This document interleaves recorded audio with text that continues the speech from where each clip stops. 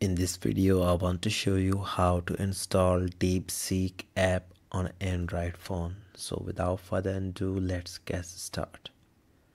First thing you have to simply open up the Play Store if you have Android phone. And after that, you need to simply search the DeepSeek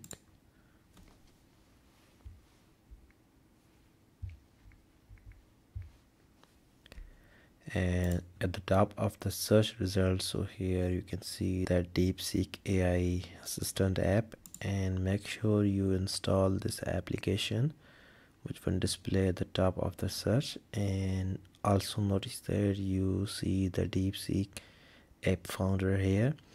And if you want to install this, this application on your Android phone so you need to simply also use the same installation method now as you can see it take a little bit time to successfully download and install the DeepSeek AI app on your Android. And as you can see I have successfully downloaded and installed the app. So I want to just access the app from the phone. And you notice that it shows the DeepSeek. So once you open up the app so here you will find the welcome notification. So simply accept the terms and conditions of this app and simply confirm the I have read the agreement. And now you need to simply have a DeepSeek account to access the app but I just want to directly access this app with my Google account.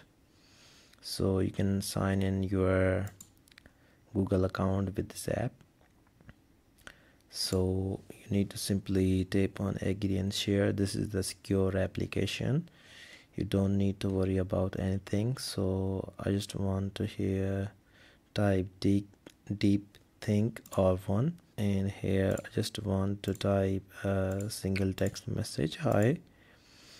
And you will quickly get the response from the DeepSeek AI and it is just like a ChatGPT app and as you know the chat gpt is one of the most popular application ai application uh, on a global but right now this application is basically going also the most famous.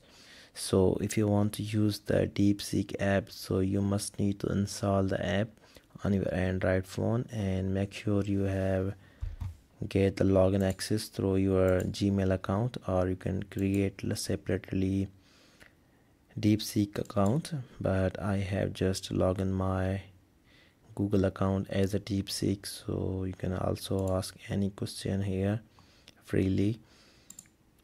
So thank you so much for watching. This is pretty simple and easiest way to use the DeepSeek on Android phone.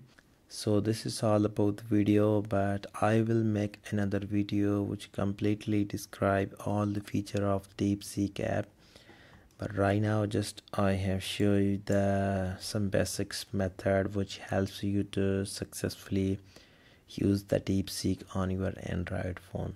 I hope you enjoyed this video. Thank you so much for watching.